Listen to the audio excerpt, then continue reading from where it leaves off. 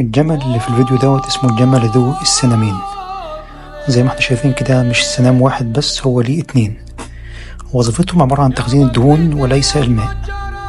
بيعيش غالبا في الأماكن الباردة زي الصين وروسيا آه، أوزبكستان مناطق كتيرة من آسيا.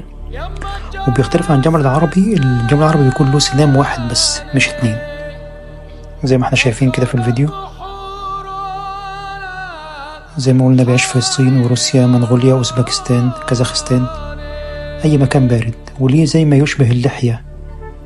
مدة الحمل بتاعه بتكون 13 شهر وبعد ثلاث سنين بيصبح راشد وخمس سنين بيكون بالغ ومكتمل النمو. طبعا شكله سبحان الله غريب جدا وله في خلقه شؤون.